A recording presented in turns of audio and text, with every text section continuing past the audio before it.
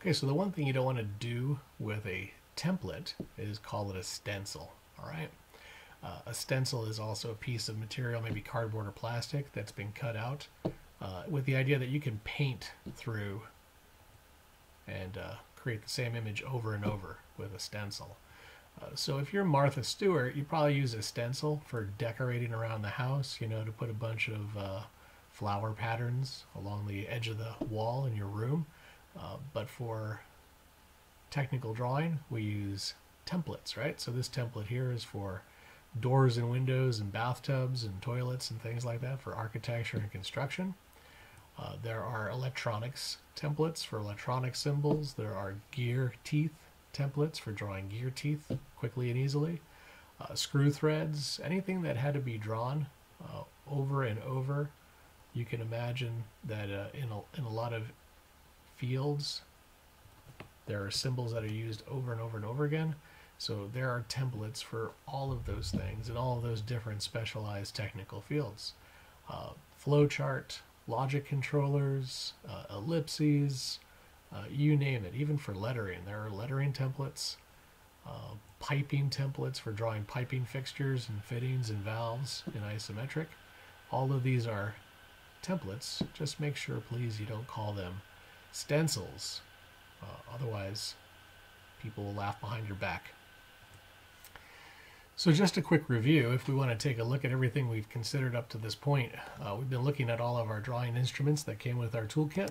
Uh, we have parallel bars in the drafting lab, and sometimes they make these a, a, portable unit where you can actually pick it up by the handle there at the top edge and carry it around. I've got a couple of those myself. So it's a movable or mobile drafting board with a parallel bar built into it. Uh, if you had a big drafting table and you wanted to uh, not have to goof with a parallel bar, you might have this drafting machine, which keeps horizontal and vertical for you.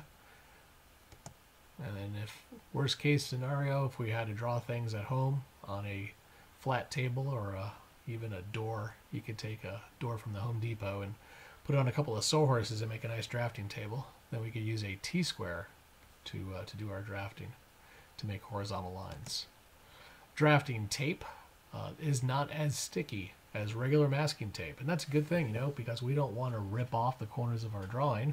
We just want to hold the paper down while we're drawing on it with instruments. Triangles are used for making vertical lines straight up and down at 90 degrees to the parallel bar. Uh, we have 45, 45, and 90, and 30, 60, 90. And between the two triangles, we can get 24 different angles. The scale is used to measure at full size. Our scale goes to the nearest 16th of an inch, and you guys have an architect scale, which allows you to draw big things on small pieces of paper.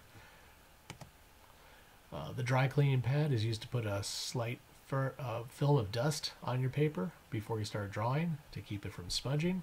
It can also be used to rub out small smudges from the drawing. Just don't try to use like an eraser and grind it into your paper. That's going to actually smudge your drawing. We talked about pencils today and lead quality, lead grades, and uh, mechanical pencils, as well as lead holders. And if we have a lead holder, just understand you're going to need to sharpen it with a specialized tool because you can't stick this thing in a pencil sharpener, obviously. The lettering guide helps us to lay down horizontal guidelines for doing lettering. Uh, the erasing shield helps us to erase precisely and exactly to a specific point on the drawing without accidentally erasing good stuff we want to keep. The dusting brush is used to brush off the paper so we don't smudge it or smear it or grind our little grimy fingers into it. Compasses are used to draw perfect circles and arcs. Uh, dividers are used to step off distances or telegraph or transfer distances from one place to another. Templates are used to draw repetitive shapes over and over quickly and easily. And you have a circle template with your toolkit. The sandpaper block can be used to sharpen the edge of your compass or to blunt the edge of your compass so it's not so sharp if you want to make a fat line can also be used to point your pencils or your lead point, your lead holder to a nice point. Okay, and there are a whole bunch of other technical drawing tools that are not in your toolkit because we just don't need them in this class, but it's not a bad thing to know what they are. Uh, these things here are called French curves, and what they are is they are irregular, non-circular curves that are used when you have to draw a freehand curve, but you want it to be nice and smooth and perfect, right? So what we do is we uh, we kind of lightly sketch out our curve, and then we find if we can line up the edge of our French curve with any portion of it. And if we can, we go in and we build our curve slowly, one little segment at a time, nice and smooth.